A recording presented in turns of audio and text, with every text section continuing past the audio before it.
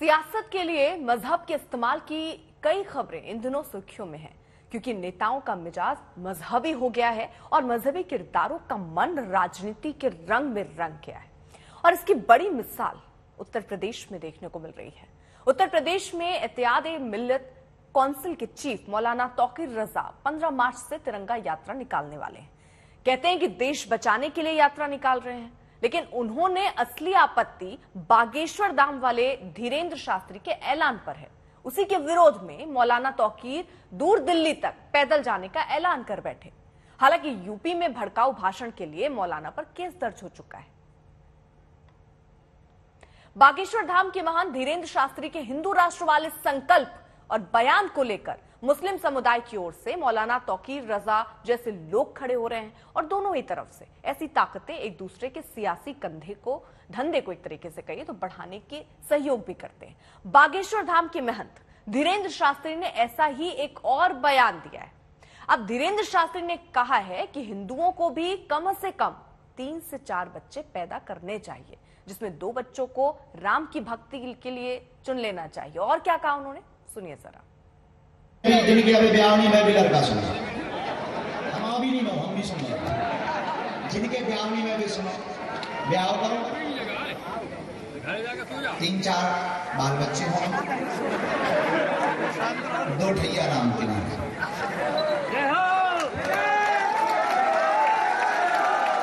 समझदार को सारा काफ़ी वैसे तो दो बच्चे दो ही अच्छे। एक बच्चा राम जी के पूरा बचपन से ही कह देते हैं बेटा, राम हिंदू राष्ट्र को काम तो मज़हब के नाम पर एक खलिस चुनिंदा सियासत राजस्थान से लेकर बिहार तक भी करने की कोशिश की जा रही है। असदुद्दीन ओवैसी हरियाणा में मारे गए राजस्थान के दो भाइयों, जुनैद और नासिर के मुद्दे को लगातार उठा रहे हैं। पहले बीजेपी सरकार पर सवाल उठा रहे थे, ओवैसी अब राजस्थान सरकार पर कम मुआवजा देने का आरोप लगा रहे हैं।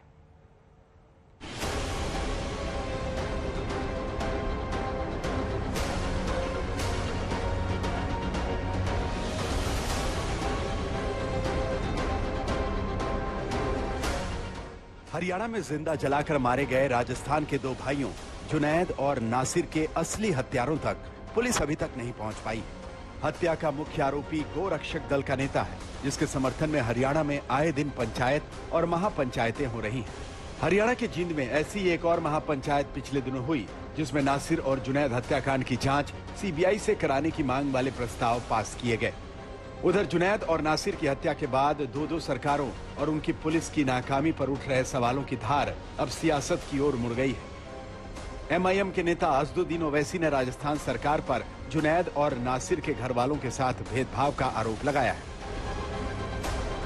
जब कन्हैयालाल की हत्या हुई, जिन्होंने किया वो टेररिस्ट हैं।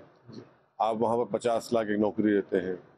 जिन्होंने जुनैद नसीर को मारा, वो भी तो टेररिस्ट हैं। उनको आप सिर्फ़ तीन गवर्नमेंट स्कीम में पंद्रह लाख सरकार देती है नौकरी नहीं देती है। तो इंसान तो इंसान है ना भाई? जी।